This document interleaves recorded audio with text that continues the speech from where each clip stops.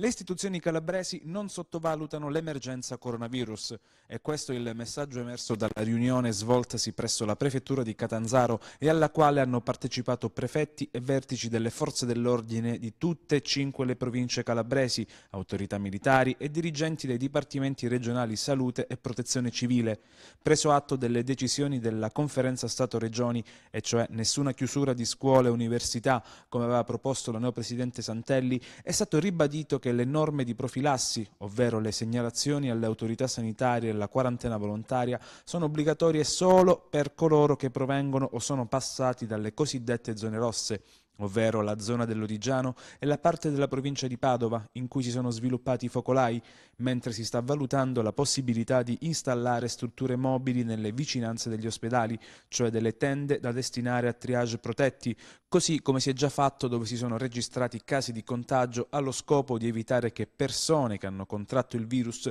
entrino in pronto soccorso. La novità sostanziale delle ultime ore, come comunica il prefetto di Catanzaro, Francesca Ferrandino, è l'istituzione da parte della Regione di un secondo numero verde che si aggiunge al 1500,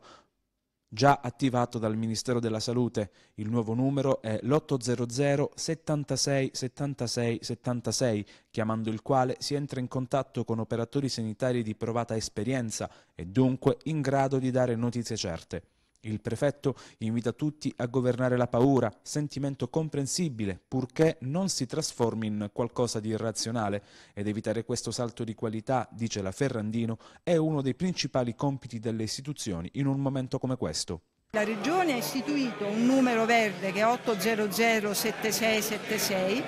in aggiunta all'1500 che i cittadini potranno comporre per avere notizie. Qual è l'elemento di novità davvero importante? Che a questo numero rispondono operatori sanitari, quindi persone già esperte che sono in grado di, eh, di dare risposte e notizie certe ai cittadini. La Regione stessa nel corso della riunione di oggi ha confermato che aumenterà anche il numero di operatori eh, sanitari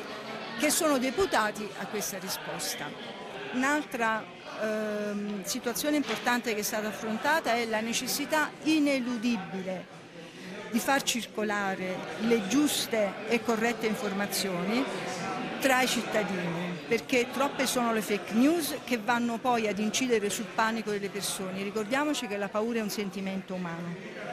che va compreso, non va deriso, ma va anche governato ed è compito delle istituzioni, in questo caso, garantire una giusta e corretta linearità e circolarità delle informazioni in modo da rendere un servizio quanto più eh, eh sereno al territorio. Per quel che riguarda l'aspetto strettamente sanitario, il dirigente del Dipartimento Salute della Regione, Antonio Belcastro, spiega che sarà sempre maggiore il coinvolgimento delle aziende sanitarie territoriali e della medicina di base, primo fronte nella battaglia di contrasto del Covid-19. Abbiamo fatto il punto su come ci eravamo comportati finora, su come le strutture sanitarie avevano risposto in maniera egregia eh, finora e su come è cambiato lo scenario da, da, quando, da venerdì, da sabato, insomma,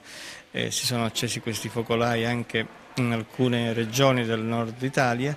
e questo ci ha imposto eh, di indirizzare la nostra attenzione, il nostro obiettivo adesso è centrato sulle aziende sanitarie provinciali, quindi sui dipartimenti di prevenzione e sui medici di medicina generale, i quali convocati già oggi e ci rivedremo domani hanno dato la massima disponibilità e collaborazione.